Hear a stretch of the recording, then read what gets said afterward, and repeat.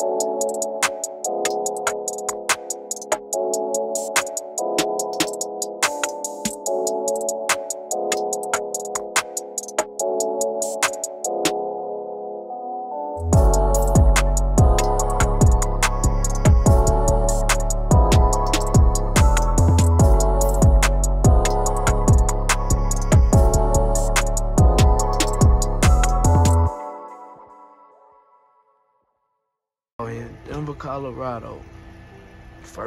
snow that I'm gonna ride in for this year.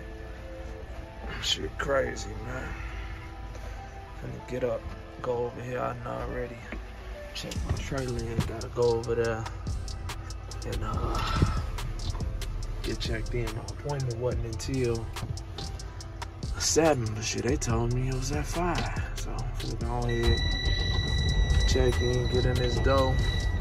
Then I'm finna lay my ass down and give me some Z's because I ain't gotta be delivered until 10 a.m. between 10 and 1500. Yes, sir.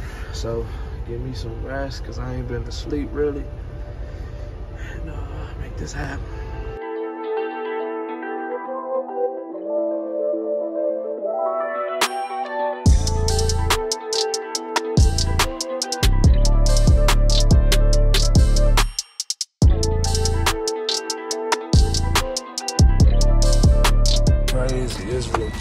Snowing out here, yo.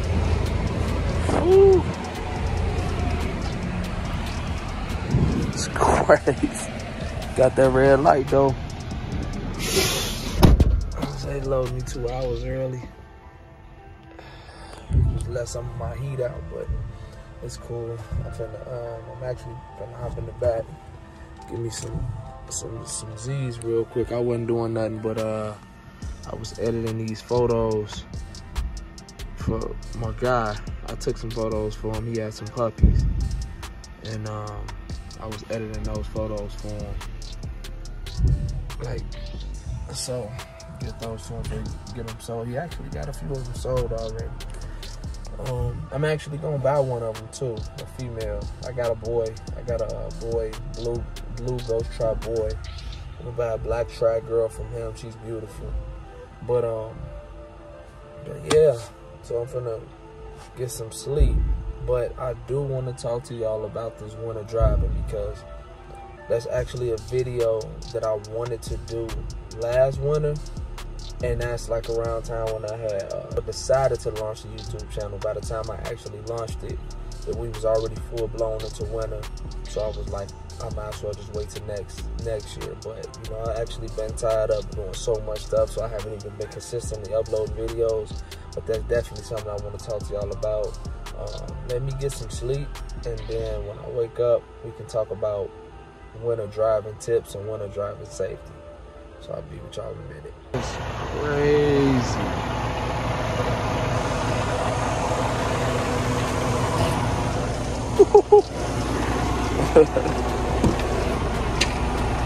this what it's looking like from the inside. I ain't even turned the wipers on yet. It's crazy. So, one of the things about this winter driving, your your windshields, your your wipers, they definitely gonna compact a lot of snow. So you definitely wanna tap those free.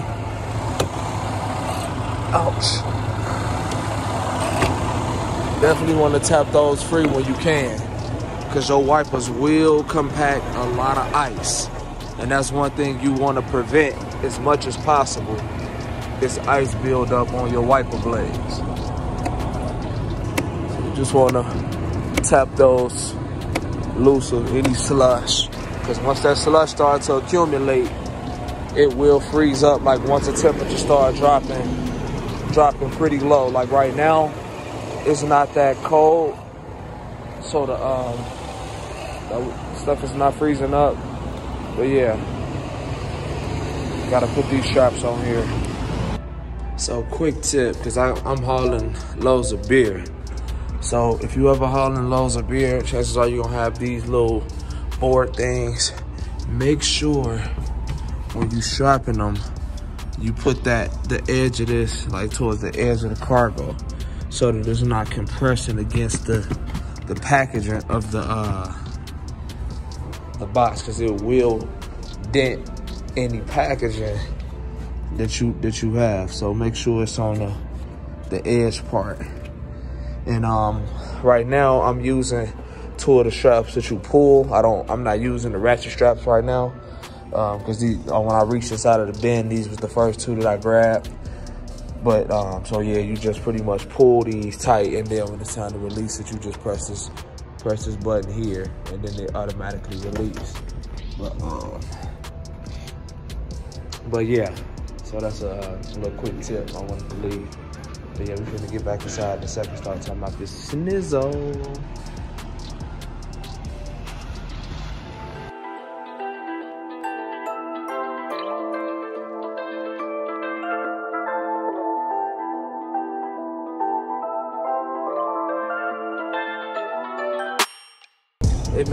As bad on the video, but my I, I can barely see out of my windshield. I gotta stop. I gotta stop at Walmart and get some more washer fluid.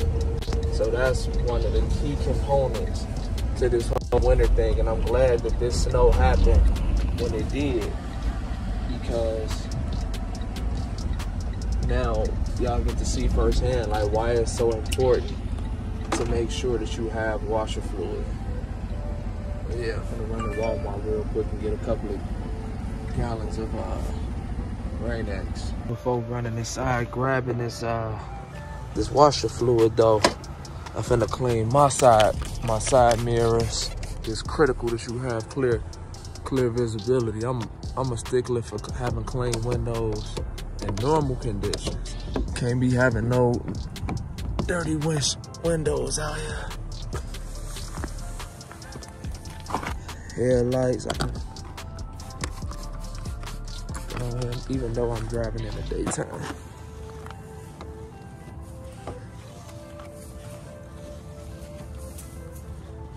I still always clean my, my headlights.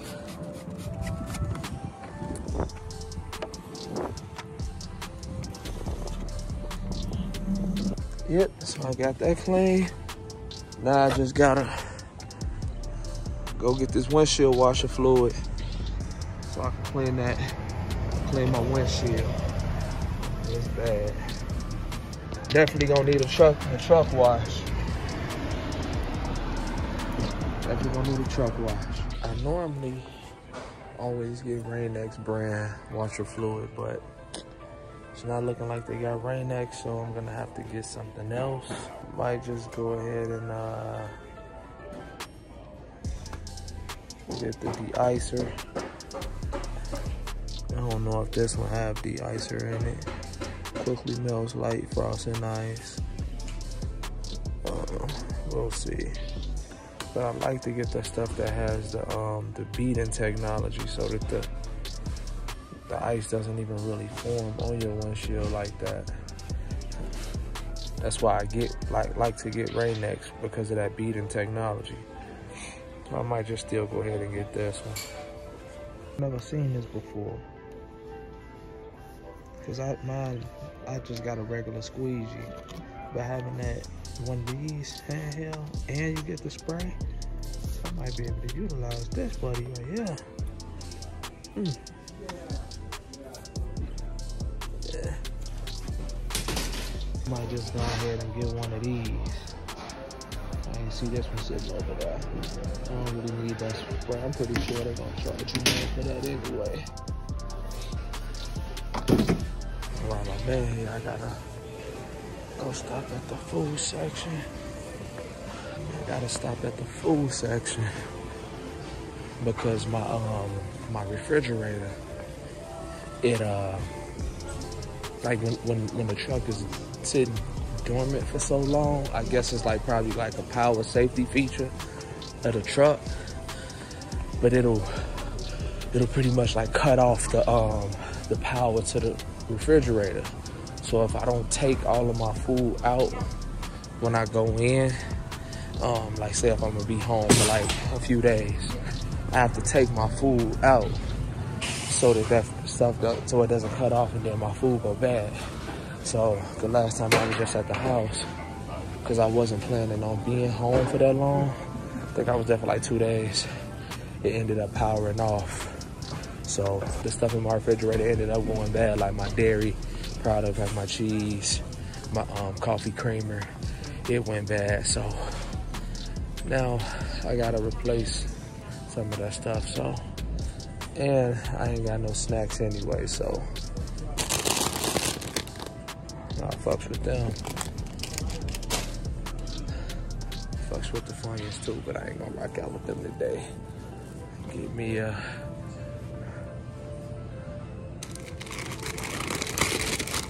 a party size bag of Doritos. Got nothing wrong with them.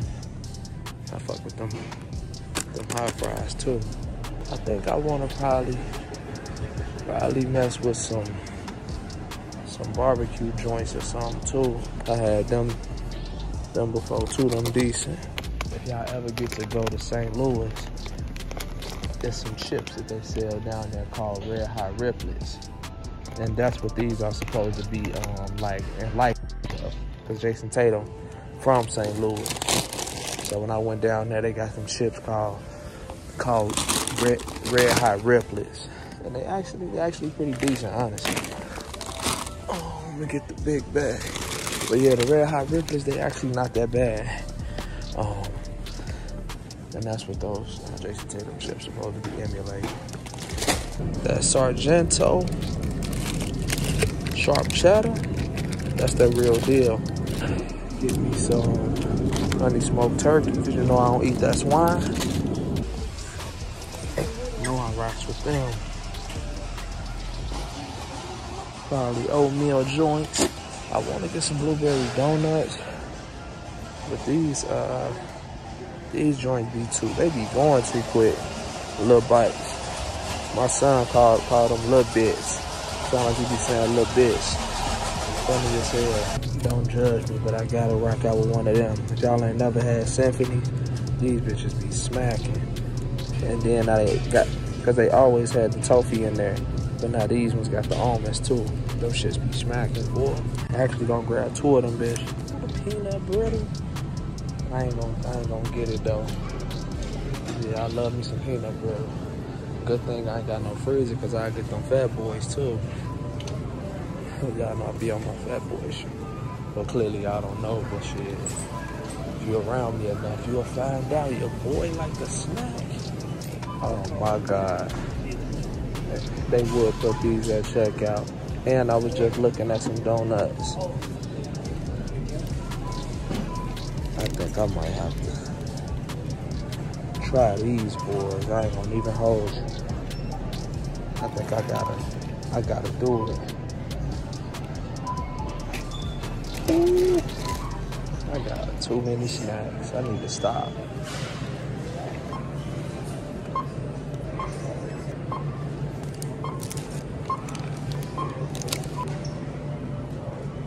Put put my luggage and stuff in here. But these donuts though. Never mind, my truck is a little junky. But man, I gotta, I gotta tap one of these bitches, man. These bitches calling me, man. Shit just be calling me, man. Be calling me, man. I just gotta go to it. Back in the truck. Finally got the windshields clean. Now I gotta go over here like three minutes up the road to get some fuel. Cause I gotta if I'm not mistaken, the way it's looking on the map, I gotta go over another mountain in order to get into Utah. And like this fuel hand on this truck is a little janky, I ain't gonna cap. But I should I should have enough fuel to make it fuel up that way, but I honestly don't want to play around with that. Because um, one, it's too cold out here. Two, you're going into a mountain and you're going up and down, up and down, up and down, like your fuel economy ain't gonna be what it's gonna be if you're driving on flat land. You might get six, seven, eight miles per gallon, depending on what type of truck you got. Um, if you're driving on flat land, but now you're starting to go up and down, and I got a 40 some thousand pound load. So now that's cutting into fuel economy too. So I ain't gonna play around with it and end up stranded on the side of the highway or the mountain and wait for roadside. Can't run the truck now, freezing cold. That shit over with. So I'm feeling running this fuel station real quick. Put a couple gallons of fuel in here. And that should uh, get me to where I gotta go to at the end of that one.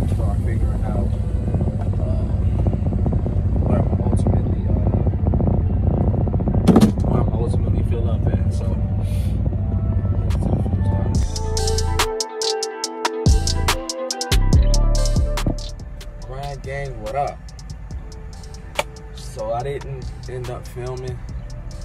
Um, after like all of the shopping and stuff like that, like when I made it there, like I had to hurry up, rush, get to that, um, get to that delivery, because like the snow and all of that stuff, it prolonged how long um, it took me to get there. I should have gotten there noon of that day when I actually was filming that, but I ended up getting there to three, and I just literally barely made it before, like they was literally done. They stopped receiving at three, but it just so happened to be uh, people still in the building. They was doing like some meeting or something, and I was standing at the door as they was walking out to get ready and leave. And uh, one of the guys, he ended up saying like, man, he, he gonna come right back and you know unload me. He was like, give me about a half an hour, I'll be back and I'll unload you. So that was pretty clutch. But the crazy thing is, by me not checking the weather, because I didn't know that it was supposed to snow out there. And by me ch- not checking that weather, it ultimately ended up screwing. Because I was supposed to had gotten unloaded there and gotten been able to get a second load coming out of there on Friday. But because I didn't check hold on, unplug this. This kind of irritating. But um because I didn't check the weather, I wasn't it, like it delayed me so much that I couldn't find nothing coming out of um, Utah. I forget what part of Utah I was in, but I couldn't find nothing coming out of there on Friday, so I had to lay over for the entire weekend on Friday, and I didn't end up getting a load until Monday. I had to deadhead north to Wyoming, and that load took me all the way to Charleston, South Carolina, and that load I just delivered yesterday. So it's crazy. Like that that was Friday when I delivered that. Today it's now Friday again. So this week literally just shot by. And um but that I was under that load for nearly a week. Like that that little failure cost me almost a week. Oh, it cost me a week and a lot of money. So um so it, it was good that that happened because I definitely want to talk to y'all about some things with uh snowing and I know this video probably has gotten a bit lengthy because I was, you know, showing y'all the shopping and all of that kind of stuff. Just trying to do a little bit better taking y'all on a journey instead of just doing talking head videos when I just talk to y'all and, you know, just telling you stuff. Like I want to, you know, show y'all some of what it looks like for those who not in this space. We're probably thinking about getting into trucking. You get to kind of get a sneak peek into what it's like to be a trucker. So that's, you know, the perspective that I'm kind of trying to come into with my videos. But um, but yeah. So with the whole snow snow driving, man, the first like the first thing I would say is to plan your trips, plan your route. And you probably hear me say this now. Probably heard me say it before. You gonna definitely hear me say it after. But you want to plan your routes because proper planning is everything. Had I planted and and I and I'm a, I mess up. I've been doing this for 12 years now and I still, you know, sometimes forget to do certain things. But when you don't have that system or you deviate away from that system, it can cost you. And it cost me in this case because I didn't check the weather. And that's because like the, the seasons are transitioning and in certain places it don't even feel like it's fall. It still feel warm. Like I'm down here in uh in um South Carolina and it's warm out here. I don't even need a coat to run inside. Like, it's raining, but it's it's not cold out. So it's like it'll confuse you. So like I'm not thinking, oh, fall time, you know, winter time. You finna go west into the mountains. It's a possibility you're gonna get some snow. And they said that was the first snow that they got this year. That was the first cold day that they had this year. So it was just my luck that it snowed and I had to go through the mountains and that cost me. But if I would have checked the forecast, had I checked my route, I would have known that it was gonna snow and that would have allowed me to prepare to leave a lot sooner. So definitely plan your routes. Um, when you're planning your routes, you want to check the weather, check the weather of, you know, like the major cities that you're passing through, you know, and see what their forecast is gonna be like.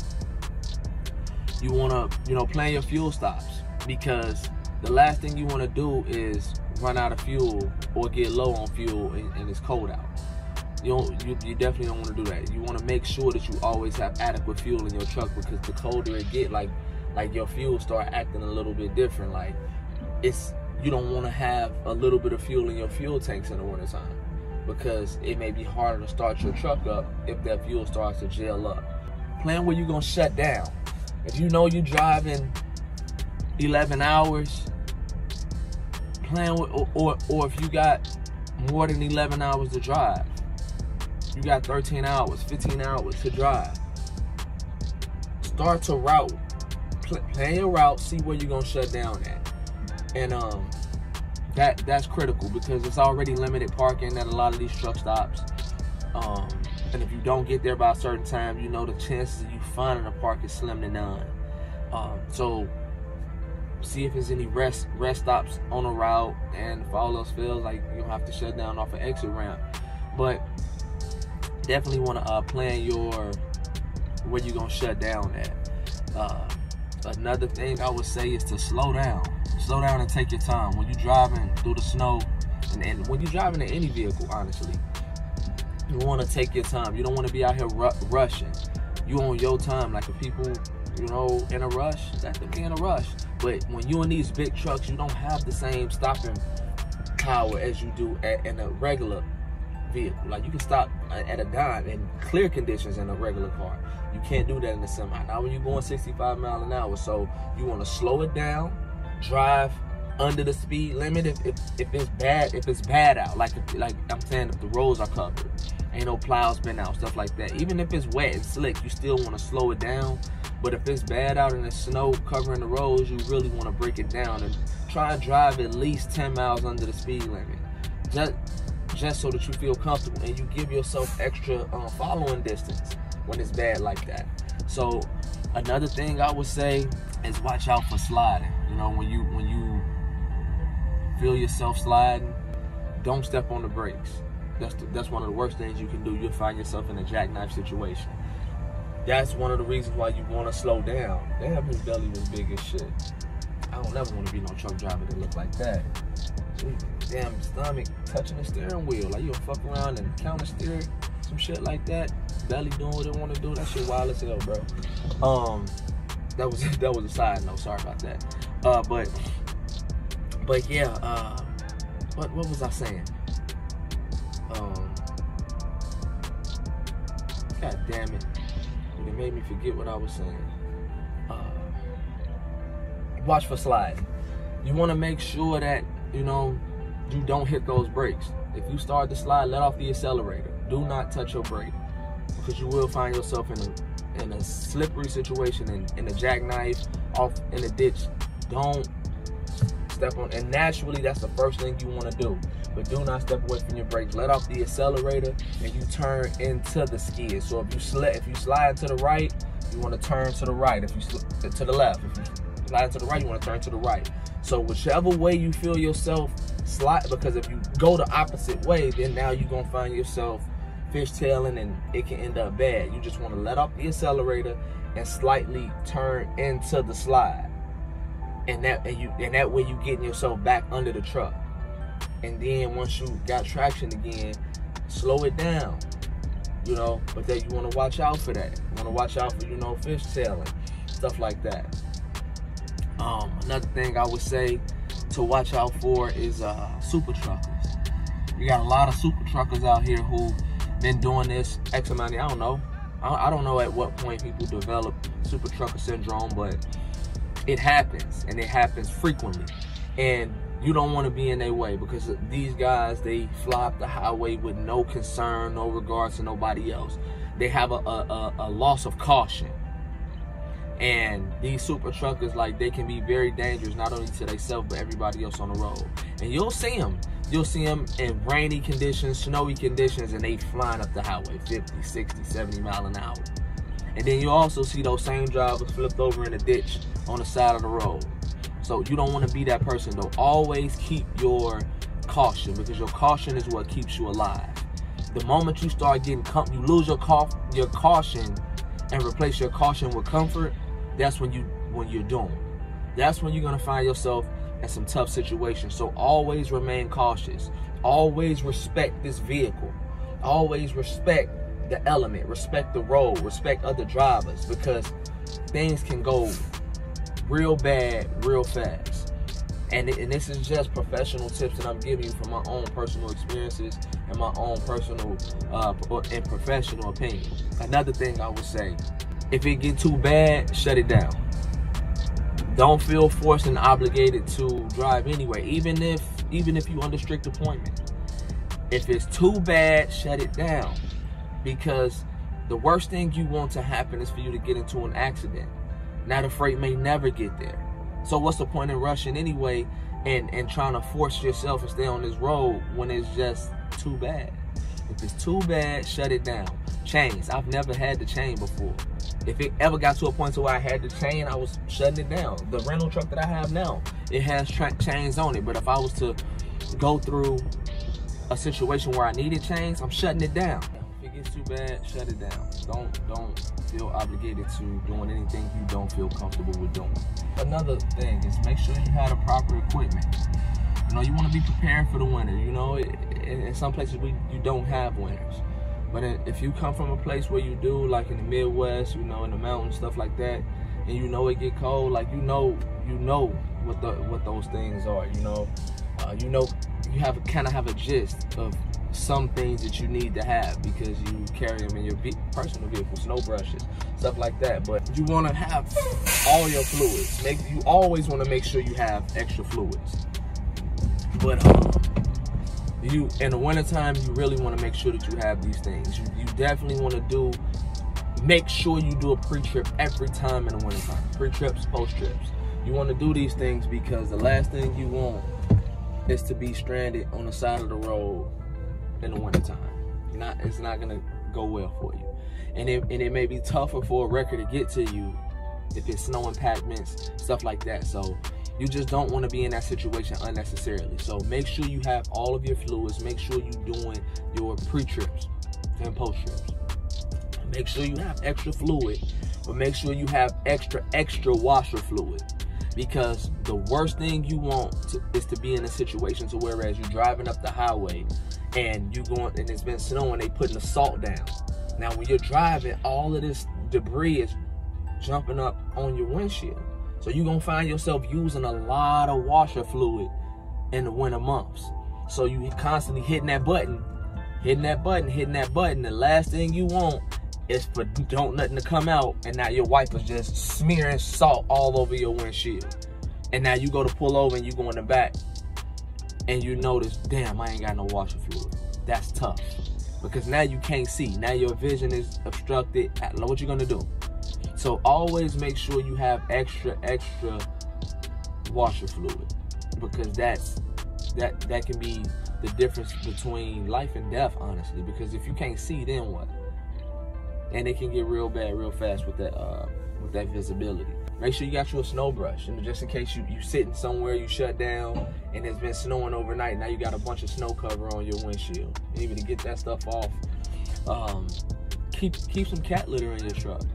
And you're probably wondering what's the cat litter for, but I haven't had to use it in um in recent years because I haven't been over the road. Uh, so in places that I've been driving, it, it, hasn't been too bad over the winters. But what uh, cat litter does or can do for you, say you find yourself in a situation where one of your drive tires gets stuck, and whether it's stuck on some ice or whatever, and you can't get any traction to get get out of the situation. What you can do is you can pour that that cat litter over that ice or over that snow impactment, and now that gives you traction on that tire or on that axle and now you can get out of that situation but um yeah, that, that's a good thing to have during winter months is cat litter. Just watch your surroundings. Be be aware of your surroundings. Make sure you um you watching what you're doing because you don't want to be in a situation to whereas you're making assumptions. Be aware of like snow Im- impactments. Like when you see like it might be a whole lot of snow and then the snow plow coming onto a yard and they push all the snow off to the side. You know, these big trucks we gotta make wider turns. I always assume that it's something under the snow. Don't just drive over or allow your trailer axles to run over large snow embankments because you can find yourself in a horrible situation doing that. And very, very, very early in my career, when I got my very first job, I had that happen to me. And I had just gotten out by myself. And I was driving, I, I want to say I was in the Chicago area. I'm driving and let my tires run over a snow embankment. And it was one of those big, massive rocks that they use for decorations at some of these uh, facilities. And it was, but the snow had covered it up because they pushed all the snow off to the side and the snow covered it up. And I cut the cut the turn short. Trailer tires went up on the snow embankment. I'm thinking it's just a mound of snow. Once my tires went on, the axle split like split the um the rock, and it knocked my um my brake chambers off. I couldn't go nowhere. I had to call it in, and that was a, a preventable accident that I had on my MVR. And those preventable accidents, they stay with you for like three years but because if you apply for any job, they'll ask you, have you had any preventable accidents in the past three years? Or any tickets, stuff like that. And those preventable accidents, they can stop you from getting work.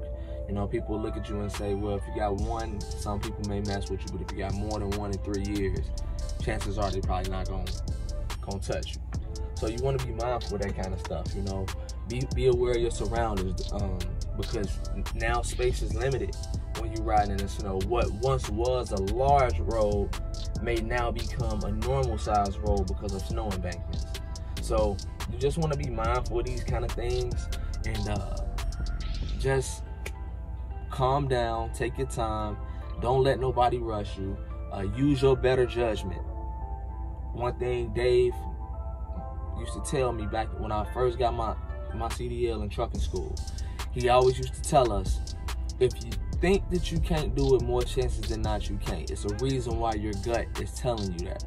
So use your better judgment when you're riding out here. And um, I know this video probably has been lengthy, but I definitely wanted to just drive it home. And like I said, I wanted to bring, like I wanted to just drag y'all along for the journey. Um, because it's not something that I always do. It's stuffy in here, man. It's real humid down here in South Carolina right now. But um, that's definitely something that I wanted to do is just to bring y'all along for the journey. I'm finna start heading out. Um, they, excuse me, I've been loaded already, uh, probably for about an hour now. Um, probably a little, little, under that, but they got me loaded relatively quick here. I'm finna uh, go ahead take this load, get out of here, and then uh, shut it down for the weekend, man. Um, I've been I've been on the road for a few for a few weeks now, honestly, and um, I'm actually gonna be turning this uh, this rental in probably come Monday. I'm probably gonna turn this rental in, and um, I got some I got some some amazing things on the horizon. Uh, some amazing things, and uh, y'all y'all will see what's going on in a minute, but but yeah, man. Thank y'all for watching. If you watch this video, you found the information um, informative, feel free to hit that like button, hit the subscribe button, and tap that notification bell so that you'll be the first to be notified whenever we drop new content. Um, links in the in the bio if you if you need factoring. Um, holla at my boy Parker. The number is down uh, in my description, and if the link is already live, to just click and go directly to the factoring um, application. It'll be linked in the description below. But definitely, um, if you need factoring, go holler at my boy Parker from RTS. Um, if you need a load board, link in the bio for 30 day free trial with DAT. Definitely um, rock out with that new DAT1 app. It's definitely official. I'm liking it a lot. And um, with that being said, thank y'all for watching and uh, see y'all in the next one. Peace.